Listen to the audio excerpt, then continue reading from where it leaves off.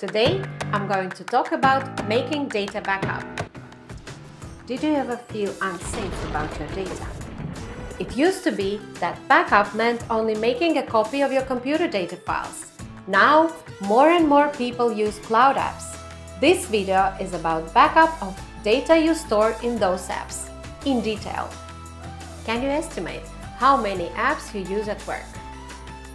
You probably use accounting software, CRM, help center, maybe marketing automation, task managers, online documents, and so on. This amounts to a lot of data. To start with, I suggest take a pen and put together a list of what data is critical for your business to back up. It may be you realize that you don't need to back up everything, but most probably you do want to include payments and orders, contacts, documents, don't forget sales notes and help center tickets. Once you decided what to back up, the next question is where to start. Of course, you can try to do backups manually with Data Export, meaning that you download data from your apps into files. It provides a level of protection and it's much better than doing nothing at all. The problem is you can easily miss something important and it might be that you just can't export some data from your app. This often happens with sales notes or emails from a CRM.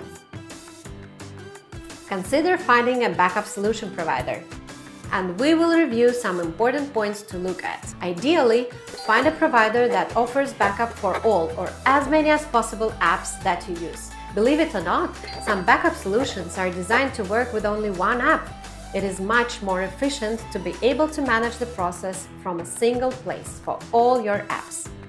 It is also important that we talk about access. It is critical that wherever your backup is stored, you have direct access to it.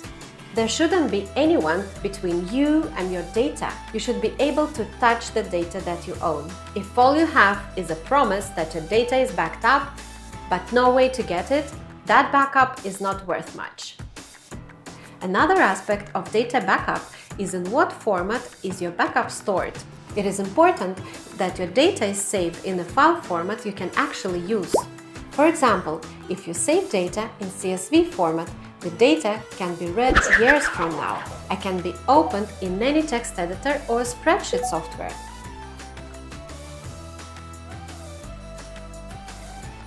The next item to cover is how long do you need to keep your data backups? There is no single answer to this and it depends on your business specific needs. Most are served well by daily incremental backups plus a full backup every month. Okay, let's address where do you want to store your backups. There are different commonly known backup strategies. They suggest having multiple copies of your data in different locations and stored using different types of media. But let's be fair, at the very least you should have one copy in a safe place, and this place shouldn't be a hard drive. And finally, yes, you should test your backup. Make sure your backup works after you set it up. If you've done this, you shouldn't have to waste much energy thinking about the backup process on a regular basis. They should just happen. To be on a safe side, I would check your backup one more time, just to be sure.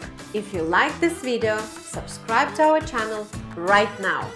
Also, to find out more on data management, head over to import2.com.